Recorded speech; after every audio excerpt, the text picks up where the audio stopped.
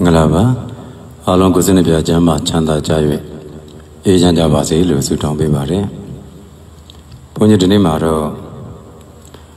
ဘဝထဲမှာရှိနေတဲ့အတွေ့အကြုံတွေအကြောင်းကိုဟောချင်ပါတယ်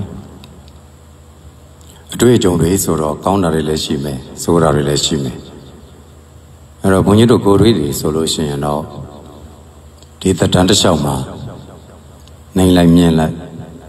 ပျော်လိုက်ဝမ်းနည်းလိုက်အများကြီးကြုံထားတယ်အဲ့တော့ကိုယ်ဘဝတလန်အတွက်စူးစမ်းတဲ့နေရာတွေမှာလည်းအများအားအဆင်ပြေခဲ့တာတွေမဟုတ်ဘူး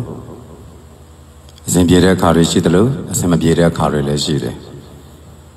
နောက်ကိုယ့်ရဲ့ဆုံးရှုံးမှုအပိုင်းတွေဆိုရင်အလုံးသိတဲ့သူများတဲ့ဒါမိဘတွေအကုန်လုံးကိုတေဝဲကွဲခြင်းနဲ့ဆုံးရှုံးထားရတယ်မိသားစုတစ်စုလုံး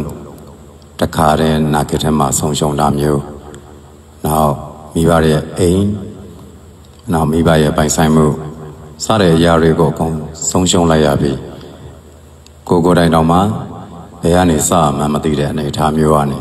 ဘဝစားရတယ်လို့ခဏခဏပြောလေးပြောထားရှိတယ်အဲ့တော့အဲ့လိုများစွာသောအတွေ့အကြုံတွေများစွာသောအတွေ့အကြုံတွေကိုကြုံတွေ့လာတဲ့အခါမှာ တစ်ချိန်တော့တတ်တာရင်ကောင်းပါပဲတောင်းတမိတာပေါ့ဒါပေမဲ့တောင်းတမိတဲ့အခါမှာတောင်းတတဲ့အတိုင်းအေးချမ်းဖို့ဆိုတာကိုယ်နှလုံးသွင်းနေပဲဆိုင်တယ်အေးချမ်းတယ်လို့ဘယ်လောက်ပြောပြောတွေ့ကြုံရတဲ့အရာတွေကို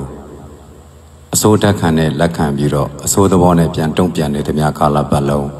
မအေးချမ်းဘူးဆိုတာသွားတွေ့တယ်ကိုဘဝထဲမှာတခါတရံကြလို့ရှိရင် ပြတ်သားတဲ့အခါတွေပြတ်သားရတာတွေရှိတယ်အေးကျင်တယ်ဆိုတော့လေနောက်မားတဲ့နေရာမျိုးတွေမှာလည်းမားတယ်စသည်ဖြင့်ပေါ့တတိရှိရတဲ့နေရာတွေမှာလည်းတတိရှိရတယ်ငြိမ်နေတဲ့အခါတွေလည်းငြိမ်နေရတယ်ပျော့တဲ့အချိန်တွေမှာလည်းပျော့ရတယ်လောကကြီးကိုတဖြောင်တည်းကြီးသွားလို့မရစိတ်ကိုဖြောင်းမှတ်စွာထားပြီးတော့ကိုယ့်ရဲ့ဘဝရင်ဆိုင်နေနီးနာတွေကတော့ ပြောတဲ့တဲ့အခါပြော့မာတဲ့တဲ့အခါမာနွယ်တဲ့တဲ့အခါနွယ်ပြက်တဲ့တဲ့အခါပြက်အဲ့ဒီလိုမျိုးအတွေ့အကြုံတွေကိုကြော်ဖြတ်ရတယ်ဒီအတွေ့အကြုံတွေကပဲဆရာတဆူဖြစ်လာတာပါပဲအဲ့တော့အခက်အခဲမျိုးစုံကြုံဘူးပြီဆိုလို့ရှိရင်တော့နည်းနည်းတတ်တာတော့ပေါ့အခုမှစပြီးတော့အသက်သဘောမျိုးနဲ့အဆိုးကိုကြုံတာမျိုးကြရင်မခံနိုင်မရနိုင်မပြေနိုင်ဖြစ်တတ်ပါတယ် အဲ့တော့အချိန်ကကုစားပါလေဘလို့အခက်ခဲတွေပဲမစိုးအချိန်တစ်ခုတော့လိုတယ်လို့ပြောခြင်းတယ်တရားမမေ့ပဲနဲ့ဖြောင်းမှတ်တဲ့နှလုံးသားရဲရင်တဲ့နှလုံးသားတည်ကြည်တဲ့နှလုံးသားကိုရအောင်ယူရတာပါပဲအဲ့တော့တရားမမေ့ပါနဲ့တရားနှလုံးသွင်းပါတရားများများလုပ်ပါအဲ့ဒီလိုများများလုပ်ရင်လည်းကျန်တဲ့အပြင်ကလောကီကိစ္စတွေကိုလည်းပဲ